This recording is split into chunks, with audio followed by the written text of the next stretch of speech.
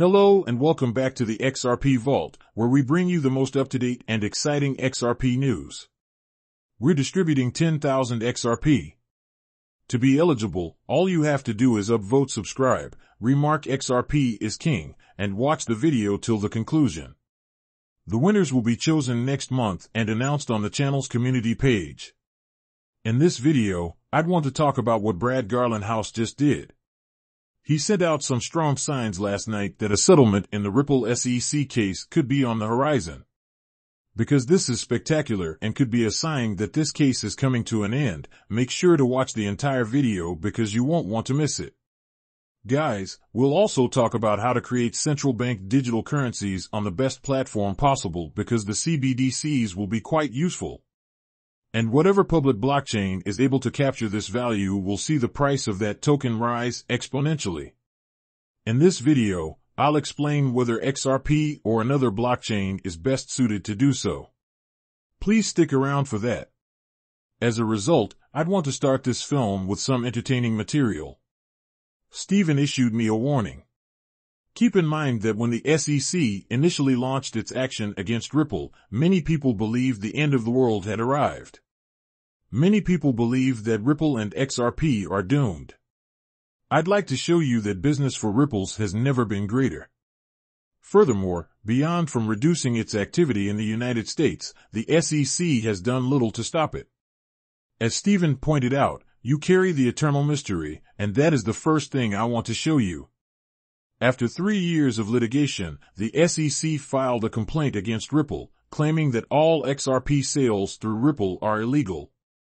However, unlike in the past, the SEC makes no attempt to prevent further Ripple transactions. Instead, Ripple is already selling more XRP than ever before. This is one of the most perplexing aspects of the ongoing SEC investigation. When the SEC sues a company for marketing and unlawful securities, they typically receive a direction directing them to stop marketing the asset because Ripple is currently selling more XRP than ever before. In the SEC instance, the SEC has not even attempted to halt this guy's activities. One of the key reasons, in my opinion, is that the SEC is aware that it will be hard to categorize XRP as a genuine security in the end, and I believe the SEC is aware of how tough it will be to convince Ripple to cease selling XRP. Because the SEC only has legal authority over Americans, Ripple will be able to sell XRP in any other market where the SEC has no authority if the SEC seeks an injunction to prevent Ripple from doing so. This is a major issue for the SEC. And this is a fantastic example of why U.S. securities regulations do not apply to cryptocurrencies because the SEC has complete jurisdiction. As a result, if they want to prevent a corporation from selling a specific asset, they can restrict its access to public markets. However, because the Bitcoin market is global, this type of thing does not work. Guys, Fortunately for us, Ripple has previously stated that XRP is not a security in almost every other country. I believe the SEC is increasingly understanding how terribly this case was handled. Furthermore, it is quite unlikely that XRP secondary sales will be classified as securities. At this point, the SEC, I assume, is simply looking for a statement that Ripple was needed to register some of their early transactions. Guys, it appears that neither the SEC nor anyone else believes they can prevent the sale of XRP by a Ripple in the future. And, folks, I think what Uberstaff has pointed out here is simply fantastic evidence that the SEC almost always tries to prevent the company under investigation from selling the underlying asset when they launch a lawsuit. Guys, the SEC made no attempt to do so in this case. Furthermore, it illustrates the SEC's confidence in this circumstance. Guys, let me quickly go over something that I believe is an excellent demonstration of the strength of XRP-based Ripple products. When a corporation is sued by the SEC, many of its partners may be hesitant to do business with that company again. After all, the SEC is a formidable regulatory authority. Furthermore, Americans commonly believe that the SEC solely targets corporations that engage in questionable or criminal actions. Guys, as you can see, XRP-based items from Ripple are growing at a rate of 100% every year. Guys, this just goes to show how effective XRP is as a product in terms of revolutionizing payment systems. Guys, if Ripple only sold a minor thing, it wouldn't be all that great. Many of their partners would have deserted them as soon as they were sued by the SEC. This highlights how effective Ripple's products are since all of these different firms that use Ripple will continue to use XRP because it's such a tremendous improvement over the old system. This is one of the most beautiful things we've ever seen, guys. This proves that the sole problem now afflicting the market is regulators. Ripple's product, XRP, is one of the most popular on the market. And they are the two most important points, gentlemen. It is actually a positive trend that regulators, rather than the underlying technology or the market's greatest obstacle, are on the rise. Finally, additional pro-cryptocurrency regulators are anticipated to join the system each year in the shape of new regulators.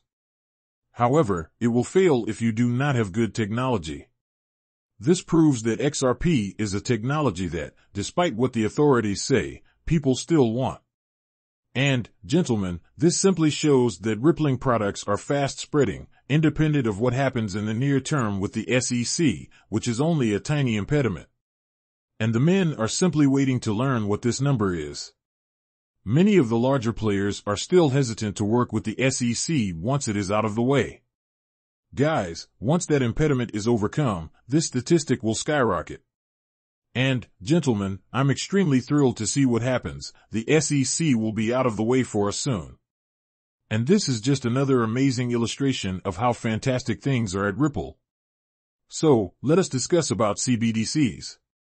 One of the main reasons I am so optimistic about XRP is that with CBDCs, there is a large amount of value that must be tokenized, and XRP is a leading technique for doing so. Many people are continually talking how this or that project will use XRP for CBDCs. Coreum is one of the most commonly referenced elements. Guys, I just wanted to let you know that I am not aware of any Coreum-based initiatives. I'm not aware of any central banks that use Coreum. And, according to RIF's chief CBDC man, RIF constructs CBDCs on private copies of the XRPL and has no awareness of what anyone else utilizing Coreum is doing.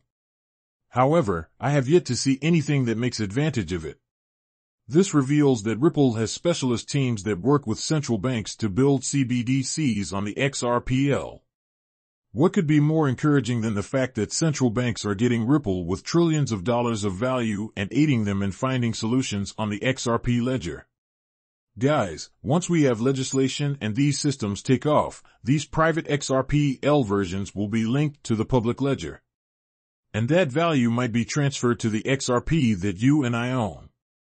When it comes to CBDCs, there is no better option than XRP in the current market. It's not only that XRP is the best technology. Because almost no other project has an all-star staff like Ripple, it can allow these varied enterprises that are comfortable with blockchain technology to employ XRP to address those challenges.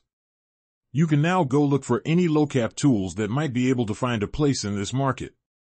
However, XRP is the clear preference for tokenizing central bank digital currency money. As a result, numerous people will inform you. Finally, at the end of the day, no other project has such a dedicated team as Ripple. Oh, it's XL, a more sologenic, guys, and Coreum will be the foundation for all CBDCs. Since 2014, Ripple has been mentioned in Federal Reserve documents. Be skeptical of individuals who promise that this other project will outperform Ripple. Tesla was the target of numerous similar claims. Oh no, this multi-V firm is going to grab all of Tesla's businessmen. And the early adopter, the leader, usually has an edge. And, gentlemen, Ripple is doing everything he can to keep that position because I want to end this film with something extremely crazy. Stephanie Baird discovered this, guys. Some may argue that it is simply a strange coincidence. There's nothing to look into, gentlemen. For me, there is no doubt that we should pay attention to this. Here's Brad Garland's residence, which I'll show by going to his Twitter account. To begin with, Brad Garlinghouse continues to follow 589 users, which is hardly random at this point. He's doing it on purpose. He's attempting to communicate with us.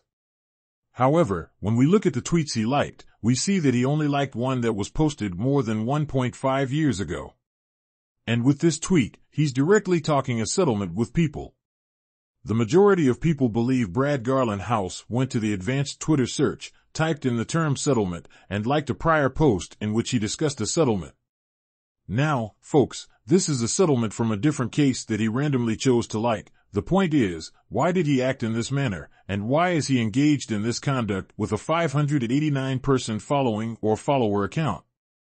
Guys, it appears to me that Brad Garlinghouse is attempting to notify us that a settlement in the case we discussed yesterday is nearing completion.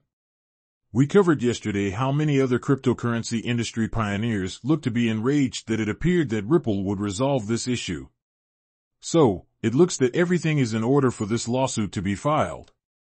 Settlement. Let's wait and see, but this is typical of guys. Because of this, I don't believe it's a coincidence. It's a touch excessive. Anyway, gentlemen, I appreciate your presence. I hope you had a good time watching this video. If you do, please remember to like and subscribe. At least for the time being. It truly means a